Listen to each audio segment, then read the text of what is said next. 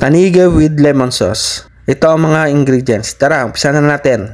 Meron tayong, syempre, tanige, salt, paprika, pepper, and soy sauce. Toasted garlic, oyster sauce, and cooking oil. Butter and flour. Garlic, then chop lang natin. Next, green onion and lemon. Mag-prepare ng mixing bowl para sa ating marinade. Soy sauce, oyster sauce, paprika, pepper, and salt.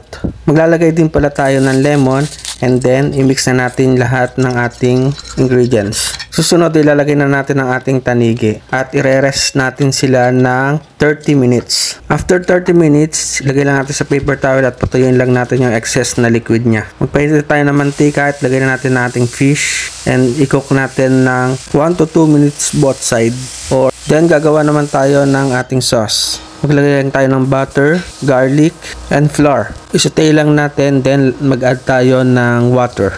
Hintayin lang natin mag-take yung sauce, then lagyan natin ng seasoning, salt, and pepper.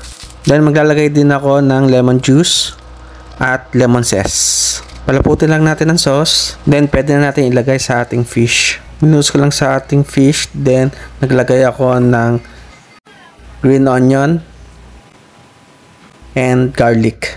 Ito na ang ating tanige in lemon sauce.